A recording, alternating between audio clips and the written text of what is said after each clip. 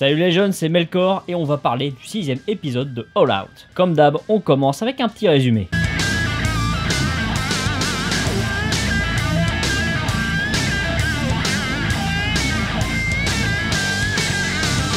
Alors pour mémoire, hein, on en est à notre deuxième jour de stage. Stage qui a lieu pendant les vacances, ce qui n'est pas sans susciter quelques réactions.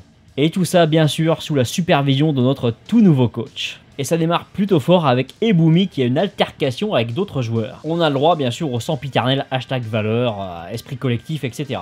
Bon, tout ça, c'est à mettre en rapport avec les sorties nocturnes de notre petit Ebumi. Mais que va-t-il donc faire? Le coach va également doucher leurs ambitions. Il leur dit que pour participer à l'Anazono, l'Anazono apparemment c'est un genre de championnat des lycées, ça risque d'être plutôt tendu vu le niveau des mecs. Après l'iCatch, on découvre la raison des sorties nocturnes d'Ebumi, il s'entraîne comme un déglingo. Comme il est rejoint par un partenaire, Mutsu, c'est l'occasion d'en apprendre un peu plus sur lui, vu qu'il y a des dialogues. Bagarreur, il a trouvé dans le rugby une façon de s'exprimer. Rassure-toi Ebumi, tu es loin d'être le seul. La bagarre avec des règles, dit-il. Ensuite, lors du troisième jour de stage, le coach les épuise à la tâche. Il ne peut dès lors que constater l'étendue des dégâts.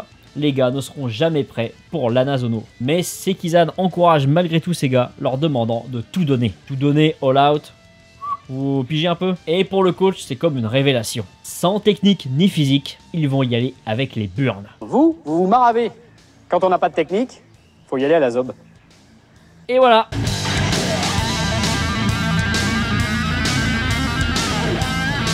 Petit épisode de transition, voilà, qui a l'intérêt de nous présenter donc la compétition à l'Anazono, j'ai un peu de mal à le dire des fois. Donc voilà, cette compétition qui va devenir l'objectif en fait de l'équipe. Euh, c'est quand même important de nous dire où va cette série, euh, vers quoi on va, parce que là, il n'y avait pas trop de buts. C'est quand même le sixième épisode sur 25 il fallait quand même lancer les hostilités à un moment. Et ça, c'est plutôt pas trop mal. Maintenant je vous ai passé pas mal le PAIFSI, parce que finalement, bon, euh, c'est pas...